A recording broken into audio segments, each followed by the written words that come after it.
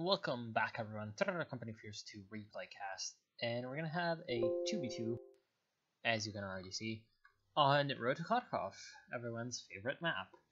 And it's gonna be between Imageless Being playing as USF, and Kirov playing as the Soviets, fittingly for the name, and it's just...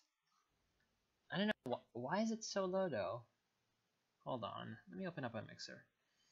Sorry for this interruption. It should it should have audio, but it doesn't. Oh well. And yeah, uh, the enemy team is going to be Von Ivan, returning playing as the OKW, and Siberian, playing as the Wehrmacht. Interesting. Wonder if they streamed this. Uh, it's possible. Depends. Worst that could happen is that someone already watched it. Now, uh, we already see that Imageless Being is going for a Mortar. Mortar going to be coming out and it's going to be fairly useful against Wehrmacht forces, not quite so much against OKW forces if a Kubelwagen is coming out, but it isn't, so it's going to be quite useful against both of them. And the map does kind of lend itself to a mortar being useful in general because of the uh, general prevalence of people trying to camp out in certain areas with the buildings and uh, the usual struggle that happens over the center being the way it is. Mortar does help quite a bit in that, and Kirov deciding to go with the Special Rifle Command is going to bring out his Penal Battalion, so quite a lot of anti-infantry coming out of the Allies. We'll see if they can counter the swarms of Germans that are coming out of their own barracks. We have an MG42 out from Siberian, which is going to be extremely useful against the riflemen from Being, but we'll see if uh, the MG42 can indeed counter the Germans, or sorry, the Allies when the mortar is on the field for the USF. And I'm pretty sure the answer is no. If the mortar can get in and do some damage, pound the uh, actual German MG in submission, then the uh, Americans are going to have a fairly easy time, I think, in the right side. But there's a bit of a double team coming in from Von Ivan. He's going to be sending his folks up, and the folks have a pretty much straight line towards the actual building the riflemen are basically getting suppressed and are trying to get in the house just to uh, get shrug off the suppression. The Volksgrenadiers decide not to chase, which in my opinion is a bit of a mistake because they'll also start to get pounded by the mortar. There's a second Volksgrenadier squad, but they're to get flanked in return by the Penal Battalion just, just came out for uh, Kirov, and he's to be able to bring in the forces into the flank. However, the MG42 is now free from any other duties and can shoot at the Penal Battalions. Penal Battalion's to get suppressed soon enough, but MG's not shooting. They decide to reposition despite the fact that they were not shooting. I guess the uh, brush was a little bit too much and the line of sight was not available for the Germans and they managed to force the Soviets into retreat. Flank was not the best executed, but it was a good idea to relieve some pressure from his ally.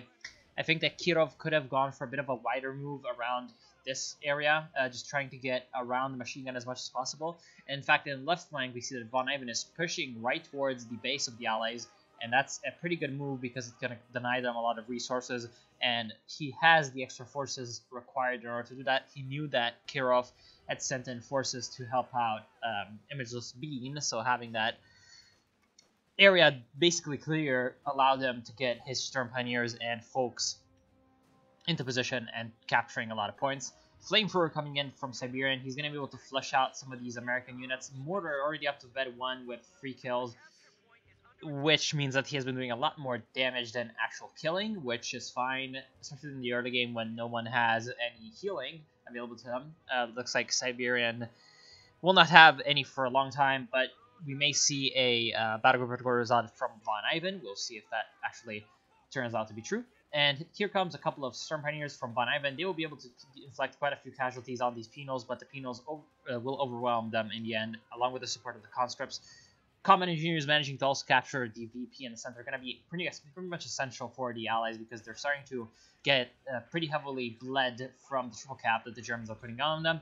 Satchel charge going to be coming in from the Penals and destroying the bunker that was built right at the road by Siberian. I'm not quite sure as to what that bunker was supposed to do. I think it was supposed to be some kind of reinforcement or medical bunker, although I feel like that would have been a very, very aggressive reinforcement bunker at that, so I don't think it would have been lasting very long either because just a very simple AT gun moving up the road could have easily sniped the bunker out of existence. So I'm not quite sure as to why the bunker was built there. It was definitely not built there for an MG. Too easy to flank from the south, obviously. But maybe he was expecting Von Ivan to be holding this um, sort of combat compound of buildings over here. but he really couldn't expect that, and I'm guessing that they're in voice chat, so really should have known better in my opinion. But at the same time, Von Ivan is managing to inflict quite a few casualties on Kirov's forces. With his Volksgrenadiers, he has four squads of them, and he's going to be able to use them to great effect inside buildings especially. Soon enough, he will have the um, grenades after the battle quarters is finished. He also has the infiltration grenades, which tells us that he has gone for either special operations or scavenge. It is indeed special operations. I wonder if the allies actually noticed that he had the infiltration grenades because he did use or wait, no, no, no, no, never mind. He did not use them. That's just because they start off in a cooldown. Never mind. And yeah, uh, on the right side, very good push coming in from both Imagilspien and Kirov, who was helping out in the center. His forces did um, sort of wheel around to the left side to basically ward off the push from Von Ivan, and that's kind of saved the left flank for the Allies. They're going to be able to capture the VP and capture a few points as well but at the same time, it's going to leave the allies in the center a bit open, and that's going to allow Von Ivan to send in, uh, send in his Volksgrenadiers, upgraded them with STG 44s, and that's going to be pretty, pretty nasty for poor Kirov's conscripts, but it's not going to be quite as effective against the Pinos. Pinos will still be able to shoot down the Volksgrenadiers quite easily, I think. Even with the STGs. depends on the range, obviously. And these Grenadiers are definitely running into a, a bit of a um, bit of a problem here. These conscripts, while pretty much inferior to them, they uh, have a lot of HP over these Grenadiers. Grenadiers very, very low, and they're going to start dropping models soon enough, and thus dropping damage as well. And here comes a mortar round completely demolishing the squad. That's kind of on Siberian uh, for just letting his squad stay in the field with very, very low HP. In fact, I think Siberian had two Grenadiers, and he lost both of them. Oh no, only one. Interesting. Only one Grenadier on uh, Kharkov is, in my opinion, a pretty big blunder. Uh, you're not going to be able to really defend this kind of huge open ground with just a couple of MGs. I mean, obviously the MGs are going to have a lot more um, ground to work with for the suppression, but at the same time, the enemy has a lot more space to flank you, so I think that a couple of Grenadiers would have been more useful than an extra MG or that Panzer Grenadier that uh, Siberian has gone for. In fact, even the mortar half track I think is kind of a mistake it's allow sort of uh, focus on uh, sort of indirect fire and not exactly uh, frontline combat units such as these support weapons. It's kind of allowing the allies to push up a lot more aggressively than they normally would be. Right now, this captain is in a little bit of danger because of the wooden building over here. That's going to collapse very soon if the mortar hatchet can get in quite a few good rounds, and maybe even if the Panzer Grenadiers throw a bundle grenade on the building, that's going to deal a ton of damage and destroy the captain along with the building. Of course, the captain means that um, captain tier units are completely available to Imagilspien. The Stuart is going to be available soon enough. He's almost uh, reached the amount of manpower that he needs. He has the fuel, and he's going to be getting that Stuart, I feel like would be an excellent choice against uh, what Siberian has gone for. Of course, Siberian does have the capacity to get the Pak out, so having the Pak is going to help him out very greatly against any kind of moves like that. And also the Panzergrenadiers can upgrade the Panzer Panzerschrecks, but unfortunately, uh, he really can't uh, spare the Panzergrenadiers for a Panzer Panzerschreck because right now his Panzergrenadier is the only infantry unit that he has available to him. He even lost the engineers earlier, so he really needs some kind of anti-infantry unit that can stay on the front line and cover the MGs, even um, if they um, they get flanked by the allies. He needs some kind of force that can cover them. So having that uh, Panzergrenadier not be a, a Panzerschreck is pretty much essential for poor Siberian, and right now he's going to need to be replenishing his forces in terms of infantry soon enough. And right now, one big problem is the fact that the Allies have managed to steal that light MG42, and so at point-blank range, Dimitri over here is just pounding the building here, and that's going to be doing quite a bit of damage. But here comes the Sturm Pioneers. Sturm Pioneers are going to be flushed out like the rats they are by the Flamethrower. Penal battalions have absolutely no mercy against that Sturm Pioneer, and is that even going to be doing any damage? 120 millimeter mortar is out for Kirov, and it's not going to be taking any damage from that incendiary round from the mortar half track that Siberian decided to use against it. Usually this, the incendiary round is extremely effective against support weapons such as this 120 millimeter, but it was just a little unlucky uh, there. It was definitely misplaced for the RNG, I guess, because the RNG basically determines where the shot is going to go. The round has a sort of this um, radius where it can land, and it got pretty unlucky with uh, the amount that the fire was covering. So that was a that was a bit of a waste of munitions for uh, Siberian. That's like 35 45 munitions, so that's quite a bit for the incendiary mortar barrage. And right now, ooh, LMGs. So we have the tactical support company. We're gonna have the Calliope, and that's gonna be pretty awesome in the later stages of the game for Image of Speed if you can use that effectively against the hordes of German support weapons that are starting to crop up basically everywhere on the map like mushrooms. If he can use that to great effect against those kinds of units, then he's going to have a very good time at it. Now, we see that he's going to go with a lot of light machine guns, and that's exactly what he needs to be doing. However, he needs to be running into the MGs a little bit less. Right now, the Germans have three machine guns, I think, scattered about the map. Yeah, one from Von Ivan and two from Siberian. So he, their allies are going to need to find some way to flank those machine guns and avoid getting their infantry pinned down. Because if they um, sort of avoid getting pinned down, then their infantry is absolutely superior to the German one right now. Um, Von Ivan has the numbers, but the allies also have the numbers. Three conscripts coming in from Kirov, or no, sorry, um, one conscript and two penals, which is even better, coming in from Kirov, and three uh, riflemen and one captain coming in from Images Speed. So obviously a lot of numbers coming in from the allies as well to counter the German numbers. But at the same time, the allies have better quality with the penals, with the flamethrowers, the MG42 on the conscripts. That's going to help out greatly against these Volksgrenadiers and guards even coming in from Kirov. So he's going to be essentially piling on the light machine guns with the DPs that he can build, uh, or rather upgrade on his guards. He's going to have quite a lot of ways to just shoot down the um, the Volksgrenadiers before they can even get into close range to use those STGs. And then even if they get into close range, you're gonna get hit by the penal battalions right in the face. Uh, so, well, basically whatever they do, they either go from the frying pan into the fire because even if they stay in range, then they kind of expose themselves to the 120 millimeter mortar from Kirov, which for now hasn't done anything. But soon enough, it's going to start to lay down the hurt. The thing with artillery units is that or indirect fire in general, is that while it is pretty um, sort of RNG based and luck based, whether or not you're going to be doing lots of damage, eventually, if you're throwing a shit at a wall, it's going to stick, stick, and basically, when that happens, it's going to stick harder because you're not expecting it. Maybe you got a little bit of a false sense of security when the enemy mortar keeps missing, and maybe you don't notice it quite as much. And then, for example, something like this happen happens, and the MG42 crew gets instantly just vaporized barely escaping with one member for Siberian. And that's basically the American mortar starting to pay off 12 kills for it. And there's also a pack howitzer. I haven't talked about it because it hasn't really done anything. But right now, it seems like the Allies have discovered the locations of the Schwerpanzer headquarters, and they're going to be bombarding it with the um, pack howitzer, which is extremely good. However, um, the problem with this is that they need the Allies, I mean, need to get all of their artillery pieces on the Schwer at once and I mean the 120 millimeter and the mortar, the 81 millimeter, and also the pack howitzer. All of them on the Schwer Panzer quarters at once, just to deal as much damage as possible and prevent the enemy from repairing. Here comes some Obersoldaten from von Ivan from the Schwer Panzer quarters, and that's going to be extremely effective against the Allied infantry. That is exactly what he needed.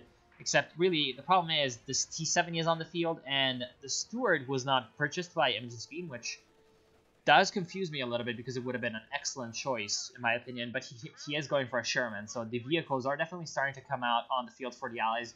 So the Obersoldaten are going to have to be very, very careful and are going to have to stay around this River for a long time. But problem is, the rest of his infantry, or I mean von Ivan's infantry, really can't keep up with the rate at which the Obersoldaten are fighting, and in general, they are going to take huge amounts of losses from the Allied forces, which are superior to them in terms of quality. So he's going to need to have mm, his Raketenwerfer basically protected all the time, and it's not happening so far. So he'll need to get uh, some veterancy on his Volksgrenadiers soon enough, or else, well, he'll have some problems. And here comes some kind of artillery barrage from, looks like the Major. That has to be the Major already, because it's doing absolutely nothing. Um, despite the fact that Major already did get buffed in I believe two patches ago. I, maybe last patch, maybe two patches ago, not sure. It can work, especially against static things such as the Schwer, but if it's dropped on a sort of moving target, it's not going to be fast enough in order to actually hit it. And right now, uh, the Americans are trying to contest the center from the Germans, and the Germans are trying to capture it fully But right now, this is kind of a um, risky thing because there's a lot of artillery coming in from the allies, and also there's a Sherman on the field, so lots of high explosive damage coming in, lots of area of effect. Grenadiers almost going down for Siberian, and the Sherman is going to be forced to retreat by the pack. Maybe it's going to be able to get one last Norman in, but the HE round completely misses. Well, not really completely, uh, barely misses. And lets, lets, lets the Panzer Grenadiers, no, that was just a normal Grenadier squad, escape. And right now, the Raketenwerfer is starting to um, sort of make its presence felt against the Allied vehicles, but there's only one Raketenwerfer. I would really um, think that Von Ivan is going to be going for more um, AT soon enough, and I think that more more AT is going to be in the form of the Panther. The Panther is going to be coming in in a couple of minutes in terms of fuel, so he's going to have that relatively quickly, although not as quickly as he would have another Raketenwerfer, for example. He could, in fact, have both another Raketenwerfer and a Panther, which would be what I would do, except he has to reinforce his, um, or sorry, his Obersoldaten. So having to reinforce the Obersoldaten at like 30, no, 40 a pop is 120 manpower, so that's basically half a Raketenwerfer, and he's going to be needing to replenish that soon enough. Nice pushes coming in from the Americans, managing to capture some of the uh, resources on the right side, but also Von Ivan making an excellent push on the left side. They're going to be forcing away Kirov, and his infantry has to retreat. Right now, it's starting to uh, sort of come to pass that the Soviet infantry is starting to take huge amounts of casualties. That is because they're very fragile, and in general, there's going to start to take more and more casualties the more German units get vetted up, especially as these Obersoldaten get vet up, and as more um, anti-infantry units come available to the OKW the Soviet infantry is going to start to struggle more and more, um, especially the penals and the conscripts, but also the guards.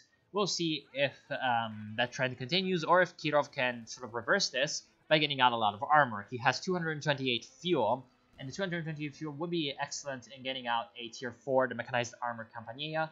And if he can get that out on the field and um, build some T-3485s or maybe even just T-3476s, and especially Katyushi, um, that is unless, of course, it was just being is going to go for a lot of Calliopes. Maybe 1-1 or 2-0 um, would be the ideal build for the Allies right now. And here comes a Panzer IV from Siberian. He probably knew that von Ivan was going for the Panther, so having the Panzer IV is exactly what the Germans need right now. Kind of a stopgap measure towards the Tiger for Siberian because he has gone for the Spearhead Doctrine, obviously from the War Half Track. Could have been surmised, but um, that's going to be useful in the late game as well. There goes the 120 millimeter. Oh no, never mind, because it's 100. No, okay. the Obersoldaten sniped the last guy. 120 millimeter mortar. Obviously, always should remember. There goes the T70, by the way. Bit of a um, miss micro over here because of the stone wall. Was not able to escape as quickly as he would have hoped. Unfortunate for um, Kirov. And yeah, uh, 150 millimeter mortar is able to escape on only one guy for whatever reason. And there comes another execution. So the Obersoldaten executioners are just mowing down retreating Soviet units with one guy left. But maybe they've met their match. Here comes a Ura from the penal battalions. They're going to be able to get in close. But here comes a smoke grenade from the Obersoldaten. They also throw a normal grenade, expecting that the conscripts were going to be walking in there, but they don't. Here comes also infiltration grenades. So they're just throwing grenades all around. And they're just basically uh, entering the Olympics for grenade throwing, but unfortunately, uh, the Soviets also entered the Olympics in shooting, and they shoot them down as they're throwing the grenades. So there goes the squad, almost getting wiped out. Very lucky to escape. And here comes the support gun from Von Ivan. Interestingly enough, he decided to go for a support gun instead of a Raketenwerfer, um, especially since he just lost his first Raketenwerfer. Here comes a grenade from the guards. Not going to be enough to wipe out the MG because of the MG's uh, very smart deployment in open ground, which sounds very weird, but it's actually what you should do with MGs. Just deploy them in open ground so that they avoid clumping up into cover. For example, if I uh, click here, you can see that the models would like to uh, position themselves into a cover like this. And if you place them in open ground, as you can see, they get spread out, so they're less vulnerable to explosives. That is exactly what Von Ivan did. Or, yeah, that was Von Ivan, right? And that saved his machine gun from that grenade.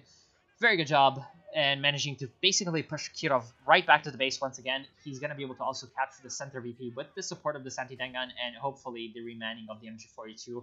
Depends because Siberian is starting to lose a lot, and I mean a lot of units in terms of the infantry. he does have his Panzergrenadier squad still alive with the Panzerschrecks, which is going to be extremely helpful against the Sherman, and maybe even going to be able to snipe the ambulance with a sneaky sort of flank coming in through the glade of these trees on the right side near the lake, I guess. Yeah, the lake. But uh, we'll see how creatively he gets to use those Panzergrenadiers. There goes the mortar. That was vet 2, and the vet 5 now, no, sorry, vet 4 Volksgrenadiers we're going to be able to steal the mortar, but a German mortar round comes in and deals quite a bit of damage to them, which is going to buy enough time to the Sherman to completely massacre the uh, recruiting Germans. That was extremely unfortunate for von Ivan to get that bit of friendly fire in. And right now, he hasn't basically repaired his Schwerpanzer quarters in a ton of time, and I think that's kind of a mistake because he hasn't really been repairing his allies' vehicles either, because here comes the two pioneers from uh, Siberian that he rebuilt, repairing that Panzer IV right up to full HP. And that's not the Sturm Pioneers, so what are the Sturm Pioneers doing? I'm not quite sure. They should definitely be repairing the Schwer Panzer quarters though, but here comes uh, probably why they weren't repairing earlier, which is this 150mm mortar. It's just continuously firing on the Schwer Panzer quarters. Not quite sure as to whether or not von Ivan ever had a window to actually repair the Schwer but he's going to decide to fuck it and brave the mortar fire, which turns out to be very quickly a bit of a mistake as he takes a huge round in the face. And there goes a allied vehicle, most likely the Sherman. In fact, the Sherman is cooking like a, um, I don't know, mm, like a Chinese lantern. And that's not going to be good because, well, that was the main sort of anti-infantry for Imageless Being. He still has this free rifleman with the LMGs. Not quite sure as to whether or not it's two LMGs or one LMG. Right now, the Panzer IV is taking huge amounts of damage from the Jackson, trying to snipe the Panzer IV.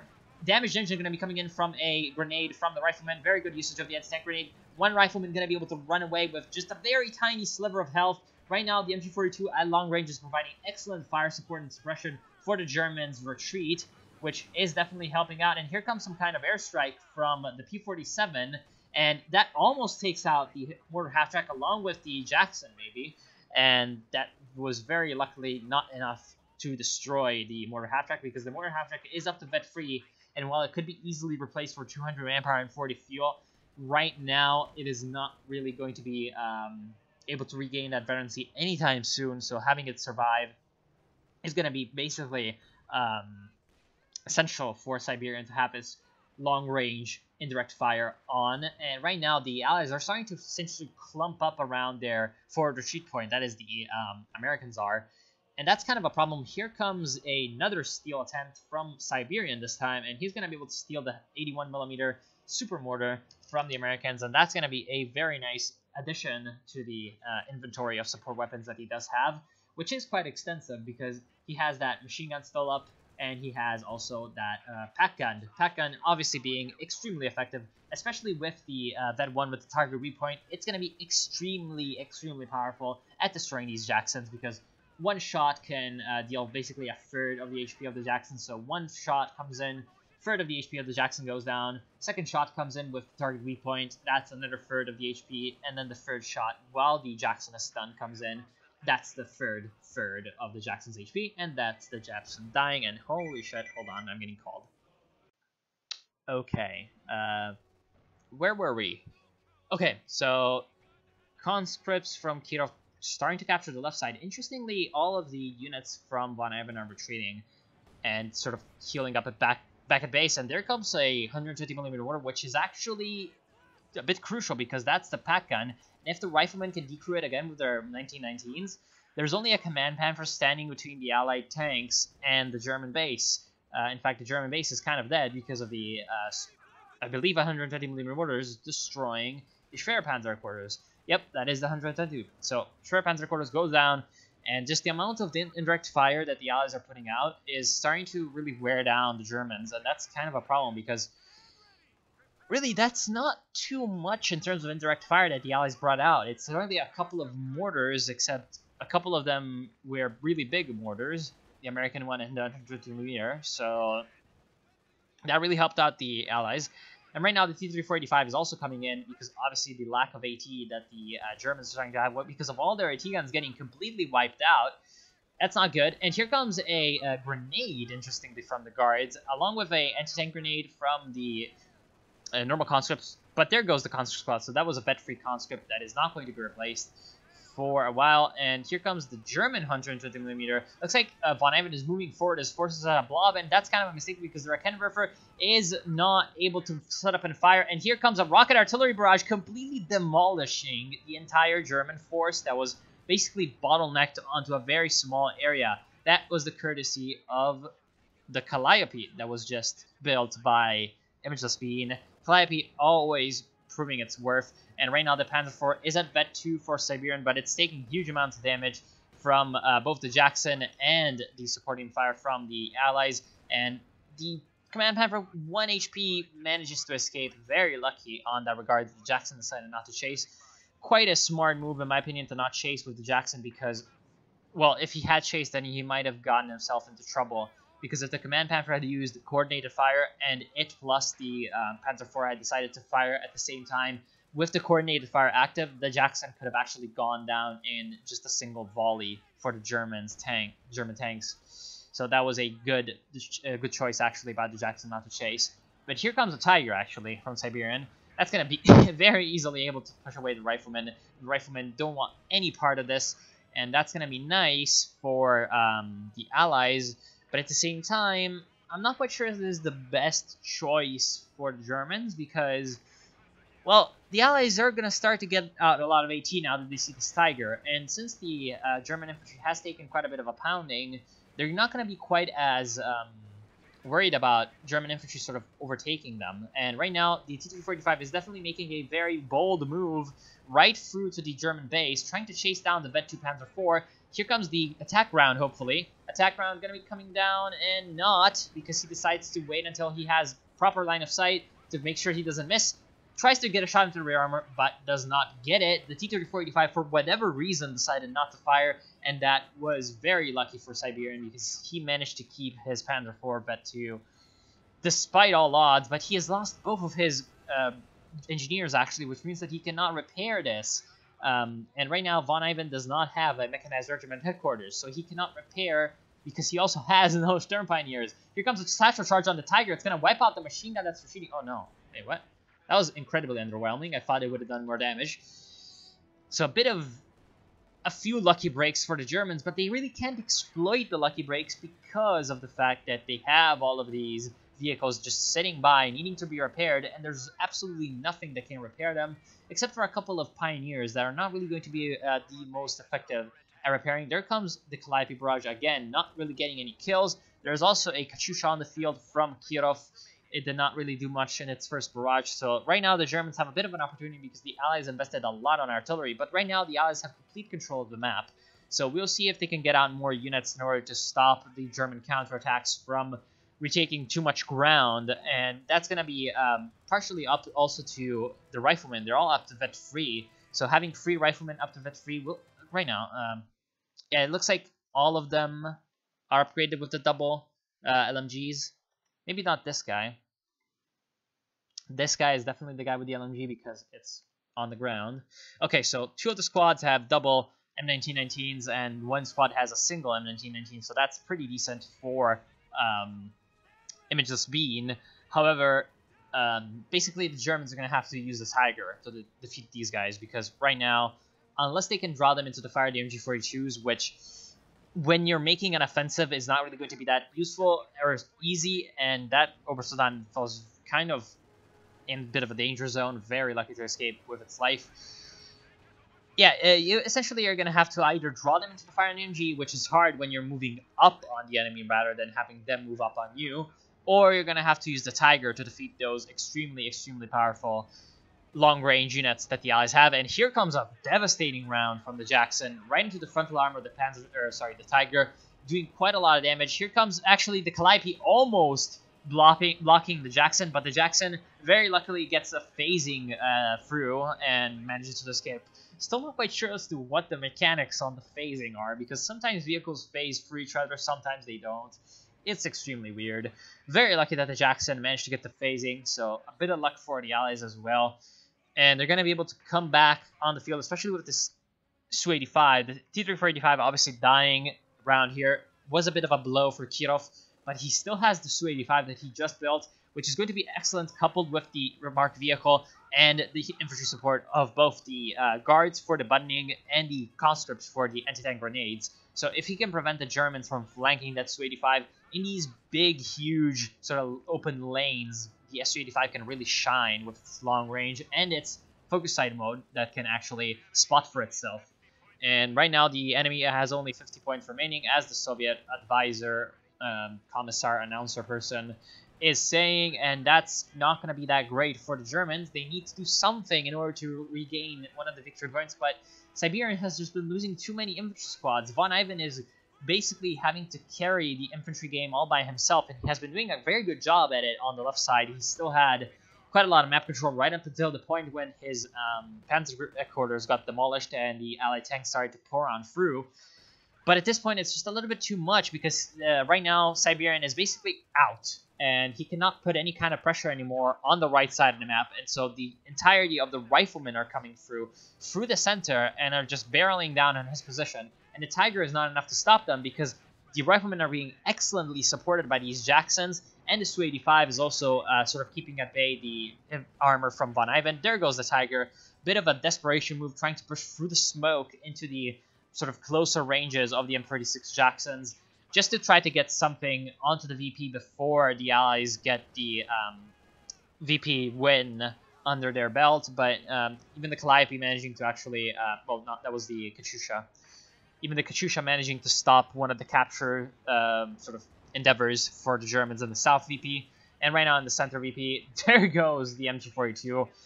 Light indirect fire, once again coming through for the Allies, and that's going to be the end of the game only three VPs left, and there's no um, no way the Germans can retrieve themselves from the grave that they've been dug into. That's going to be the end. They're going to surrender. They would have uh, probably lost the VP, and then the uh, VP count would have drained to zero anyway. So logical surrender. Very unfortunate that uh, the mortars managed to just come through for the Allies in the end. Um, the 120 millimeters and especially the 81 millimeters just caused so much damage to the Germans. Kind of reminds me of the old support guns, and there wasn't really much that the Germans could do to counter them. Eventually, the damage that they did just kind of started to add up onto itself, and then what ended up happening is that, um, partially because of that, they looked 773% efficiency. They even managed to capture, it seems, a Granatwerfer from um,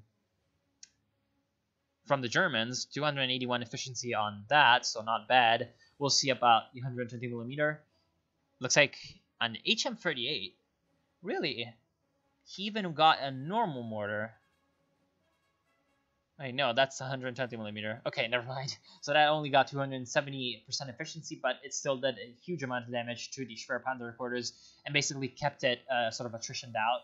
Yeah, HM38, 110 millimeter. Okay, never mind.